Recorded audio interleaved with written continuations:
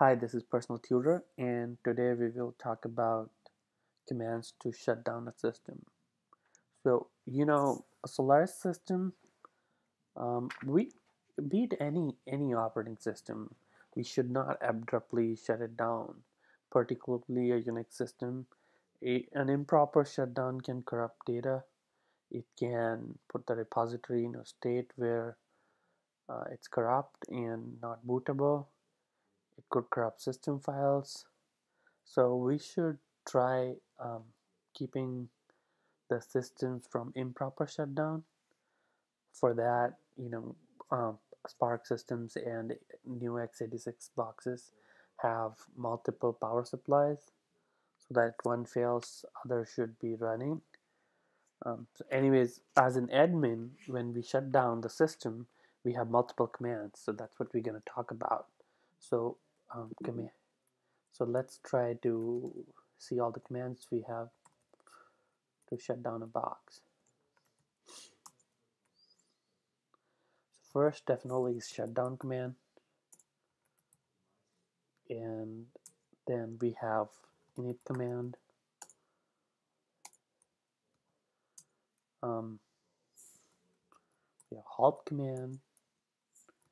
We have power off we have reboot command and um, we can say we have a, uh, another command or stop plus a. We'll talk about it. So in let me save it.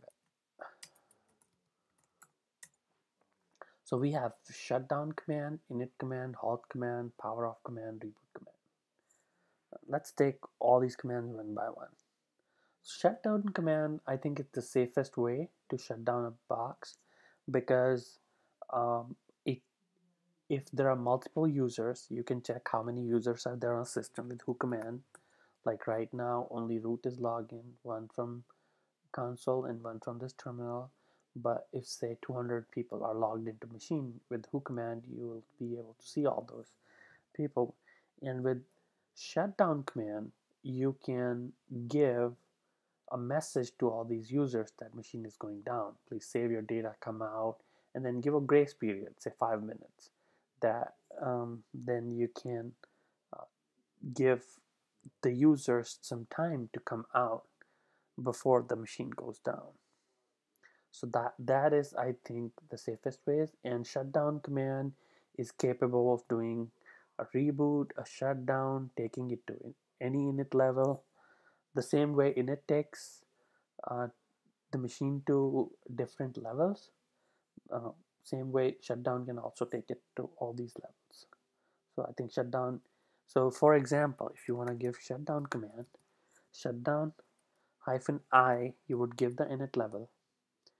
If you haven't uh, read the init levels and there's another video about run levels you can check anyways so right now if I say run level 6 which means reboot so this machine is gonna reboot and then you could give a grace period. 5 minutes would be uh, 6 times 5 300 seconds. So G300 means it's gonna wait for 5 minutes. Grace period is 5 minutes. And the message that will go to every person uh, system is going down in five minutes. Please save your stuff please save your files and log out. So if I press enter it will give five minutes and it will reboot. Let's let's give it press enter.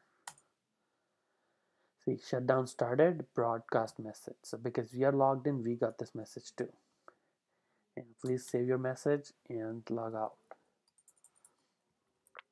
So see in five minutes it will go down. So we have five more minutes before we uh, finish this this chapter. Anyways then we have init command.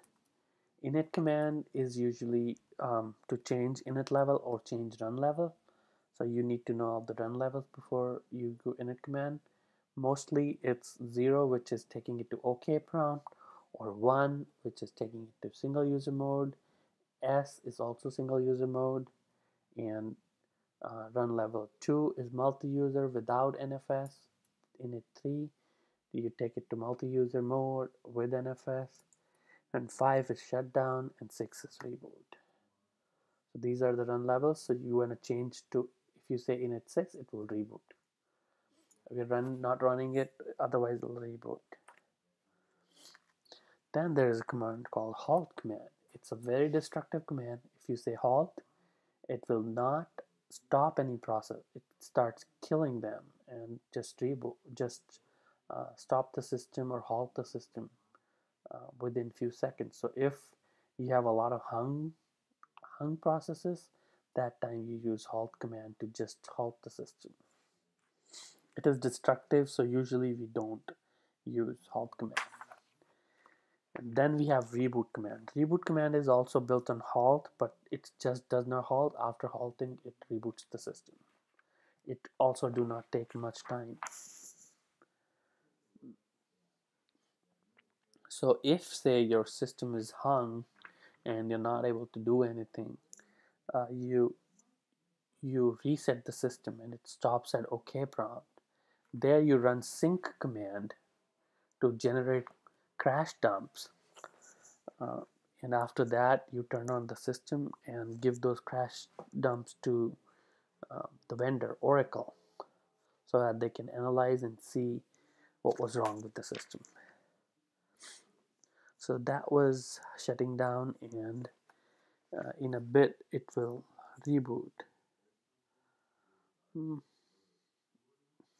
thanks for watching. You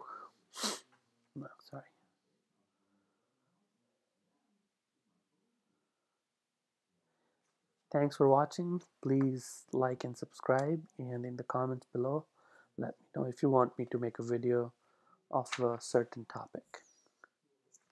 Have a good one